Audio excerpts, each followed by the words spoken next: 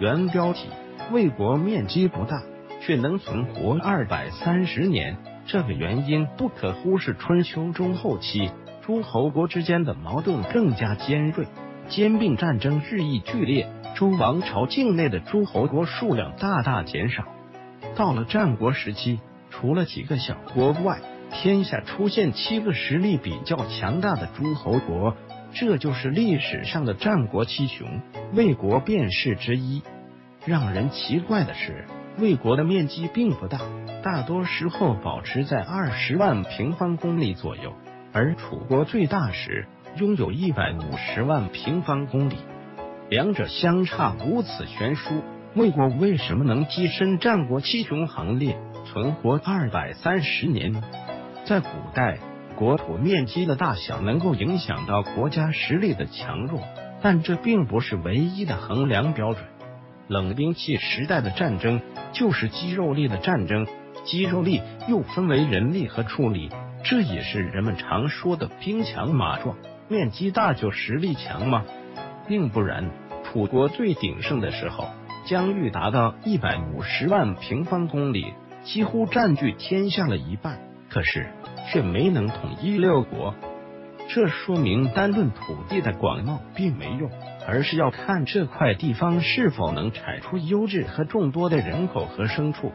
展开全文图，二是东汉人口分布图，它是经过了秦朝时期的巴蜀大开发、汉朝时期的关中大发展和江淮大开发后的数据。如果没有这些开发，时间退回到战国时期。人口分布的差距会更加明显。当时的楚国、秦国、燕国虽然面积大，但大多都是蛮荒之地，没有战略价值。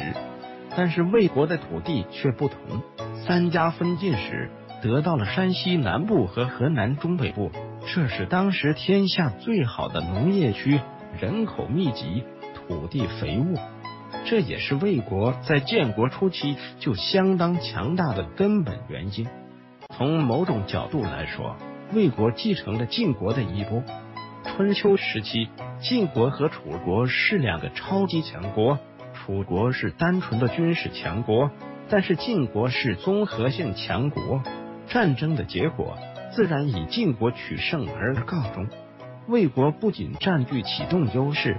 而且魏文侯率先变法，吸纳大量的文武人才，结盟赵、韩两国，同时压制楚、秦、齐三个边陲大国。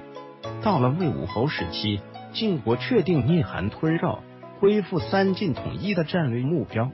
如果达成这个目标，天下就不再是战国七雄，而是一超六强的格局。值得注意的是，魏国地处四战之地。非常容易陷入多线作战的局面，所以这就要求魏国不仅军事实力要强，而且还要强大的外交谋略，像秦国远交近攻一样孤立对手，逐个击破。可惜的是，魏国没有高明的外交家，只得依赖军事力量。尽管魏国军事实力强大，可是敌人却越打越多。赵国和韩国拼死抵抗。齐国和秦国趁机介入，逐渐形成对魏国的战略包围。在多线战的情况下，魏国在南面不能灭韩，北面不能吞赵，东面连续战败，西线又失去河西、函谷等战略重点。这时候的魏国不仅从战国初期的霸主地位掉了下来，还陷入四面楚歌的境地。既然如此，魏国为什么还能维持战国七雄的身份？这个就归功于多国博弈，两国之间没有永恒的敌友，只有永恒的利益。秦国踏着魏国战败的灰烬崛起，不断在攻击关东六国。东方六国为了抵御秦国，维持平衡，只能让魏国保持强国的地位，用来堵住秦国东进中原的要道。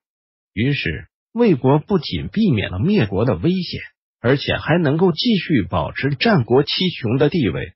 从三家分晋到秦灭六国，魏国存在二百三十年，前期率先变法，加上三晋联盟，因此强大了近百年。